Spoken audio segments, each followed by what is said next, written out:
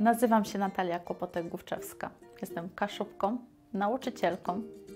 Mieszkam na Dąbrowie, najbardziej zielonej i pięknej dzielnicy Gdyni. To też zmotywowało mnie do kandydowania do Rady Miasta. Wybrałam do życia najpiękniejsze miasto w Polsce. Jednak nawet najpiękniejsze miasto potrzebuje dobrej administracji, dobrego zarządzania.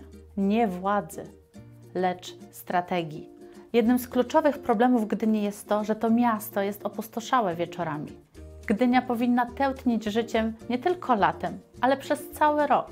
Mieszkańcy powinni móc wybierać z ciekawych atrakcji i ofert.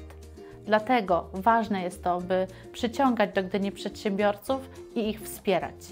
Zagłosujcie na mnie. Gdynię zasługiwo na Wici.